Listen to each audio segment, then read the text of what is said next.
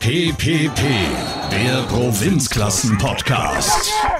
Direkt am Ball, direkt vom Platz, direkt ins Studio. Ja, da sind wir wieder beim PPP, dem Provinzklassen-Podcast. Mein Name ist Tim Verzau und neben mir sitzt Christoph Heeren. Ja, guten Tag, Tim. Und Christoph, irgendwas ist anders hier. Ich glaube, wir sind umgezogen. Also, wenn man nur nach vorne schaut, bis auf ein bisschen gedimmteres Licht, hat sich nicht viel verändert. Aber wenn ich mich umdrehe, dann sehe ich durch eine Glastür. Ja, effektiv. Und das hängt damit zusammen. Also, für die, die es nicht wissen, wir nehmen ja bei Radio Kontakt aus Belgien-Nau auf. Und der Radiosender gehört zum Grenzecho. Und das Grenzecho ist ja umgezogen. Und jetzt sitzen wir zum ersten Mal hier in den neuen Locations von Radio Kontakt und nehmen hier zum ersten Mal auf. Und jetzt blicken wir tatsächlich durch die Glastür in äh, unsere neue Redaktion und sehen unter anderem zwei Kollegen, die gerade noch zwischen dem Hamburger SV und Roland Garros äh, hin und her wechseln.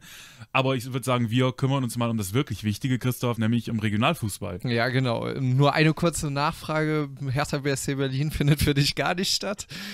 Naja, im Moment schon. Also Stand jetzt, zur Pause steht es 1-0. Also Mhm. Wer weiß, wie es steht, wenn wir hier nachher fertig sind. Ja, genau. Das ist, äh, das ist dann auch eine ganz neue Erfahrung bei uns. Wir reden über ein Spiel, das, wenn das ausgestrahlt wird, schon lange vorbei ist. Ja, genau. Naja, aber wir haben auch ein Spiel, das sogar jetzt zum Zeitpunkt, wo wir aufzeichnen, schon vorbei ist, nämlich in der Aufstiegsrunde. Und ähm, ja, da können wir uns eigentlich glücklich schätzen, dass du das eine Spiel mitbekommen hast, wo die eine ostbelgische Mannschaft dabei war, die jetzt noch eine Chance hat, weiter in dieser Saison Erfolge zu feiern. Effektiv. Es waren nur noch zwei DG-Mannschaften im Einsatz am Sonntag. Einmal Olympia Recht in der zweiten Provinzklasse gegen Herf und äh, ja, die haben leider 3-1 verloren. Die Saison für Recht ist äh, beendet. Ich denke, da können wir vielleicht gleich noch ein äh, Wörtchen zu sagen. Und das Spiel, das ich geschaut habe, spielte in Audremont, äh, Audremont gegen St. Fit und da hat St. Fit seinerseits mit 3-1 gewonnen und steht jetzt mehr denn je vor der Rückkehr in die zweite Provinzklasse. An Christi Himmelfahrt am Donnerstag ist das Aufstiegs, ja, nennen wir es mal Finale gegen Welkenrath in Welkenrath. Und äh, ein Finale ist es deswegen, weil in dieser Saison sechs Mannschaften aus der P3 in die P3, P2 aufsteigen. Sprich, das sind die vier Meister und zwei aus der Endrunde. Dementsprechend reicht St. Fit jetzt nur noch ein Sieg in Welkenrath und dann wären sie zurück in der zweiten Provinzklasse, in ihrer Klasse. Ja, und das ist äh, mit diesem Saisonverlauf dann auf jeden Fall ein Erfolg für die St. Fitter. Sie standen ja jetzt am Ende der Saison auf dem zweiten Rang, aber das sah zwischenzeitlich ja nicht so aus. Wie war es denn jetzt in diesem Spiel in der ja, letzten Partie der seriellen Endrunde? Sah es da auch erstmal nicht so aus, als ob St. Fit den Aufstieg ähm, noch in eigener Hand hätte? Ja, da kann ich dir durchaus recht geben. Also die erste Halbzeit ging schon klar an Audremont oder sagen wir mal die erste halbe Stunde. Also da hatte auch Dino Brurs im St. Fitter Tor einiges zu tun. Mit einigen Paraden hat er seine Mannschaft da vor einer ja, Niederlage, vor einem Rückstand äh, gerettet. Das änderte sich dann aber nach einer halben Stunde und ähm, ja, im Handball nennt man es Telefonieren und genau das tat dann Torgi Hoffmann, der äh, ahnte, dass es einen Fehlpass geben würde in der Verteidigung von Audremont und den gab es dann auch und der, den erlief er dann, lief dann in den Strafraum rein, wurde gefault, es gab elf Meter und da hat St. Fit natürlich in Romain Frère dann den Spezialisten in den letzten Wochen. Äh, ich weiß, ähm, Anthony Rogister hat zum Beispiel gegen Eupen Behm im Pokal ja äh, verschossen. Carmelino Nito hatte im Meisterschaftsverlauf hier und da noch verschossen, aber Romain Frère weiß ich ehrlich gesagt nicht, ob schon einen Elfmeter verschossen hat. Müsste ich jetzt. Also kann ich spontan gar nicht sagen. Auf jeden Fall hat er den souverän verwandelt zum 1-0 für St. Fit. Und danach sah es dann auch aus, als ob St. Fit mit dieser Führung in die Pause gehen würde. Aber da hatte Audremont dann in der 47. 45 plus 2 hatten sie noch das letzte Wörtchen und schossen dann kurz vor der Pause noch den Ausgleich, was natürlich dann, sagen wir mal, für den Spielverlauf bis dahin durchaus verdient war, aber für St. Fit natürlich ein ziemlicher Nackenschlag, so direkt vor der Pause. Wir haben ja auch wieder mal nach dem Spiel miteinander gesprochen und da hattest du schon angedeutet, dass es dennoch also sehr verdient war für die St. Fit. Also spekuliere ich jetzt ein bisschen drauf, dass in der zweiten Halbzeit die Zeichen eher auf Schwarz-Weiß standen. Absolut und das können wir an einem Mann festmachen, einem Stürmer beim RFC St. Fit und ich kann mir vorstellen, wenn ich das so anteaser, dann weiß auch schon, von wem ich spreche. Camelino Nito. Richtig. Der eröffnete die zweite Halbzeit quasi genauso wie die erste aufgehört hat mit einem Tor. Diesmal für St. Fit mit dem 2-1 nach einem, äh, ja, nach einer Flanke von Noah Parmentier, der sich den Ball erkämpfte im Mittelfeld, in den Strafraum reinlief, so ein bisschen Ian Robben-Style und dann zurücklegte auf Nito und der schoss dann rein. Und eine Viertelstunde später ungefähr, Nito zum zweiten, zum 3-1 für St. Fit mit einem wirklich geilen Tor. Also er ging dann äh, ungefähr die Position, die Noah Parmentier dann vorher hatte, also von links in den Strafraum rein, ging ein bisschen noch in die Mitte rein und knallte den Ball echt super geil, voll in die 5 rein. Also ein sehr schönes Tor. Und äh, ja, das honorierten dann auch die äh, St. Fitter Ultras, die mitgereist waren, und das waren sehr viele, die mitgereist waren, die sangen dann auch Nito is on fire und so weiter. Äh, und unter anderem auch ohne St. Fit wäre hier gar nichts los. Also mhm. die hatten schon echt äh, gute Stimmung da bei sich und zwar 90 Minuten durch, muss man auch mal sagen. Ähm, und von da an war Audremont eigentlich nicht mehr offensiv präsent. Also die fanden nicht mehr statt. St. Fit hatte eigentlich alles im Griff. Ich hatte auch nicht den Eindruck, als ob St. Fit jetzt irgendwie ein absolutes Wunderwerk verbringen müsste, um dieses Spiel jetzt nicht noch aus der Hand zu geben. War ein bisschen wie Lonson letzte Woche, fand ich Audremont, wo nicht so diese Schlussoffensive kam. Dieser, ja, ich will es nicht unbedingter Wille nennen, aber dieses unbedingte Drängen auf das mhm. 3-2, das habe ich bei Audremont nicht gesehen. Ja, du hast die Stimmung der Sanfitter Fans angesprochen. Wir haben ja schon in der letzten Woche gemerkt, dass Audremont, naja, sagen wir jetzt nicht unbedingt die mental stärkste Mannschaft hat. Die haben sich ja schon in der letzten Woche im Spiel so ein bisschen angezankt und da war der Job des Trainers fast schon mehr, die Spieler davon abzuhalten, sich gegenseitig runterzumachen. Und da war der Spielverlauf ja eigentlich noch positiv für Audremont. In dieser Woche war dann der Spielverlauf spätestens ab dem 3 zu 1 dann wirklich gegen Audremont. Hat man das dann auch gemerkt? Gemerkt? teilweise auch schon davor. Also die zweite Halbzeit war durchaus geprägt von Meckern auf äh, Orimo Seite und das äh, fing auch ganz, ganz speziell dann äh, nach dem 2-1 an. Da gab es nämlich dann eine Szene im St. Fitter Strafraum, wo Jan Pütters dann scheinbar den Ball äh, an die Hand bekommen hat. Ich muss gestehen, ich habe es nicht gesehen, beziehungsweise ich stand einfach zu weit weg. Äh, deswegen kann ich es nicht beurteilen. Ähm, der Schiedsrichter hat es tatsächlich laut äh, Manuel Ruiz Marais, der Trainer von Audremont, so beurteilt, als ob ein Audremont-Spieler den Ball berührt hätte mit der Hand und da sich, haben sich die Spieler dann ziemlich echauffiert und das hat Ruiz Marais dann im Anschluss auch als die Schlüsselszene äh, festgemacht, denn im Gegenzug, oder nicht im Gegenzug, aber ein paar Minuten später äh, fiel dann das 3-1, das dann das Spiel quasi äh, beendete in dem Sinne. Aber Audremont hat schon ziemlich viel gemeckert, das stimmt. Und ich möchte hier auch ein Zitat von Thierry Pullis einwerfen, dem Trainer von St. Fit, der am Ende auch gesagt hat, Mentalität hat Technik geschlagen. Und das kann man durchaus so stehen lassen.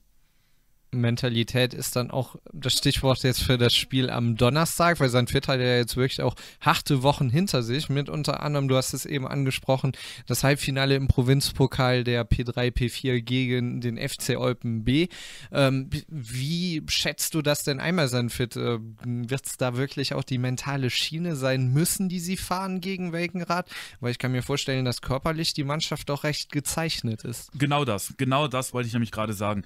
Ähm, es sind halt jetzt schon einige englische Wochen gewesen mit Provinzpokal und so weiter. Ähm, und das sind natürlich auch alles wichtige Spiele. Ne? Im Provinzpokal, je weiter du kommst, desto mehr willst du das Ding natürlich auch gewinnen. Und dasselbe ist natürlich in der Aufstiegsrunde. Und das ist natürlich, du, du, hast jetzt kein Spiel gehabt in den letzten Wochen, wo du gesagt hast, okay, jetzt gehen wir mal Halbgas, äh, jetzt wollen wir mal ein bisschen testen oder ruhen uns einfach aus. Weil auch bei St. Fit ging es ja in der regulären Meisterschaft wirklich noch darum, das Heimrecht zu kriegen. Denn sie wussten ja lange nicht, wie wird dieses abgebrochene Fermoville-Spiel gewertet, haben es dann am Ende so geschafft, dass die Wertung faktisch völlig egal ist, weil sie sowieso Tabellenzweiter waren und das Heimrecht hatten, aber das haben sie sich erkämpfen müssen.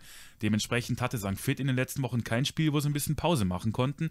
Und das meinte Thierry Pullis auch, das sieht man jetzt schon. Und vielleicht hat es den St. Fittern dann ganz gut getan, dass Audremont jetzt nicht so die Offensivpower gehabt hat in der zweiten Halbzeit, dass es da jetzt nicht so, sagen wir mal, 30 Minuten lang eine absolute Abwehrschlacht gewesen ist. Ähm, aber natürlich, es wird jetzt wieder eine englische Woche kommen und St. Fit muss über das Mentale kommen. Und da muss man aber auch sagen, äh, das haben sie mittlerweile und das haben sie mittlerweile wieder. Denn wenn ich das St. Fit von heute mit dem vergleiche, das Thierry Pullis damals übernommen hat, dann gibt es da schon einen riesen Unterschied. Also in den ersten Wochen und Monaten beschwerte er sich quasi permanent, wie wenig Leute auf dem Training sind, dass dann irgendwie nur drei, vier Mann wären. Mittlerweile hat sich das wirklich gewandelt. Also es sind alle, die da, die können, sind auf dem Training und du siehst in der Mannschaft, dass sie sich gegenseitig hochziehen, auch bedingt durch die Supporter natürlich. Das würde ich, glaube ich, gar nicht kleinreden wollen, denn das gibt natürlich auch nochmal einen Boost, wenn du merkst, okay, die ganze Umgebung steht hinter dir. Aber über das Mentale kann St. Fit mittlerweile wieder kommen. Mentalität und Supporter, das Erfolgsgeheimnis bei St. Fit jetzt im Spiel gegen Welkenrad. Ja, natürlich, aber gerade auch wegen der Argumente, die ich gerade gesagt habe. Ne? Und vor allem wegen dem Argument des äh, vollen Spielkalenders. Dann wäre das natürlich auch das Spiel, was wir tippen. Ähm, zur Info, im Tippspiel liege ich mit 10 Punkten hinten, also das können wir dir eigentlich jetzt schon überschreiben. Außer du willst wirklich Risiko gehen und wir verdoppeln die Punktzahl bei nix diesem da. Spiel. Nee, nee, nee, nee, nix da. nix da. Nee, also dementsprechend äh, lasse ich den Sieger des diesjährigen Tippspiels auch die letzte Tippspielrunde beginnen. Danke. Welkenrad gegen Sanfit. Was tippst du, Tim? Äh, da ich Welkenrad seit Jahren nicht mehr gesehen habe, äh, habe ich absolut keine Ahnung, wie die Mannschaft spielt, ob sie defensiv spielt, offensiv im Vergleich zu St. Fit, absolut keine Ahnung. Deswegen geht der Tipp jetzt völlig ins Blaue rein. Ich glaube aber, dass es nicht wirklich torreich wird, da natürlich auch Welkenrad jetzt äh, aus englischen Wochen kommt. Und denke, dass St. Fit, sagen wir mal, 2-1 gewinnen wird. Ja, ich tippe auch auf ein knappes Ergebnis, aber ich rechne aus demselben Grund, nämlich den englischen Wochen, mit einem ja etwas irren Spiel, weil vielleicht beide in der Abwehr nicht mehr ganz so rigoros sind. Und ich glaube, dass Carmelino Nito zum Abschied Sanfit dann auch noch in die Klasse höher schießen wird. Ich sage 5 zu 3 für Sanfit. Ja, das hört sich doch gut an. Aber wir können natürlich auch gerne nochmal über Olympia Recht sprechen. Deren Saison in der P2 ist ja jetzt beendet und es war eine bemerkenswerte Saison, das kann man äh, trotzdem sagen. Ich meine, sie haben es immerhin bis ins Endrundenfinale der Serie geschafft. Mhm. Es war lange Zeit auch eine historische Saison. Und ich finde, man kann sie durchaus weiterhin als historisch bezeichnen, auch wenn äh, Trainer Jerome Stark das nicht unbedingt so sieht. Aber wenn du im Februar damals gegen Wallhorn der Sieg dann, wenn du dann teilweise Tabellenerster warst, was niemand, womit niemand gerechnet hat, selbst der Verein nicht, ja, ich finde, dann kann man schon mal das Wort historisch gebrauchen, oder wie Mhm. siehst du das? Ja, ich finde vor allem schön, dass Recht sich zum Ende der Saison hin dann nochmal selber belohnen konnte. Ich weiß, nach der Niederlage in Amel hatte ich mit Stefan Krings gesprochen, dem Kapitän, und er meinte, ja, sie fiebern jetzt eben noch auf diese Endrunde hin und hoffen dann auch da nochmal Heimrecht haben zu können, um dann wirklich dem Verein nochmal schöne Einnahmen zu schenken und eben ein schönes Abschlussspiel. Ob es dann hochgeht oder nicht, das ist dann relativ zweitrangig gewesen. Ja, und genau dieses Spiel haben sie dann ja gegen Herf bekommen. Leider mit einer Niederlage, aber trotzdem hat Recht eine super Saison gespielt und sie haben vor allem auch am Ende der Saison gezeigt, dass auch diese Schwächephase, die sie dann ja eine Zeit lang wirklich hatten, wo es ja mehr so am, an der Unfähigkeit der Gegner lag, der Konkurrenten lag, das Recht nicht weiter abstürzte in der Tabelle. Da haben sie nochmal bewiesen, dass sie sich für die Endrunde remobilisiert haben und sie haben den großen Favoriten in dieser Endrunde, nämlich Sachles Bar, auch noch rausgeschmissen. Ist Olympia Recht für dich eine Mannschaft, die wir nächstes Jahr unbedingt auf dem Zettel haben müssen? Absolut. Weil es in dieser Mannschaft wieder mal wenig Veränderungen geben wird. Es ist weiter die Kontinuität, die Olympia recht ausmacht. Und wer weiß, vielleicht schaffen sie es dann auch in der nächsten Saison eben diese Schwächephase, die sie jetzt relativ lang hatten, vielleicht ein bisschen kürzer zu haben, weil eine Schwächephase, die hat ja jede Mannschaft in der Saison. Aber wenn sie die ein bisschen kürzer halten können, wer weiß, vielleicht können sie dann nächstes Jahr auch um den Titel mitspielen. Ja, und das gönnen wir ihnen ja natürlich. Und äh, ich würde sagen, wir gönnen es auch dem RFC St. Fit am Donnerstag aufzusteigen in die zweite Provinzklasse C.